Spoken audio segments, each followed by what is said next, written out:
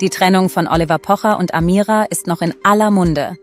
Dass sich jetzt auch noch Sandy Meyer-Wölden einschaltet, hätte man wohl nicht gedacht. Die Ex des Comedians findet klare Worte für das Ehe aus.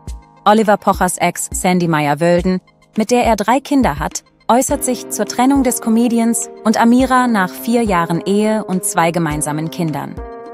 Gegenüber bunte.de teilt das Model seine Gedanken. Ich kann nur dazu sagen, dass es immer sehr traurig ist, wenn eine Ehe auseinandergeht.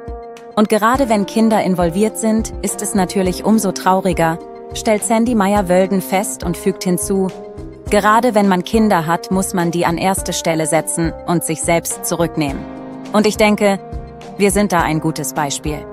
Tatsächlich hat die 40-Jährige ein gutes Verhältnis zu Oliver Pocher, aber auch zu Amira. Mit ihren fünf Kindern bilden die drei eine große Patchwork-Familie und das auch nach einer Trennung.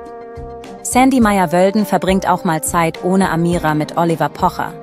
Ob die Moderatorin damit ein Problem hat, teilte sie einmal in einer Instagram-Story. Auf gar keinen Fall, nicht eine einzige Sekunde.